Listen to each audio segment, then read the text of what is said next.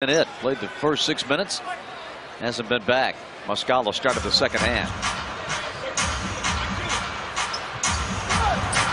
Oh, Charlotte has just dominated inside. Oh! And Dwight with a big time oh! punch. Oh! And the foul on Muscala.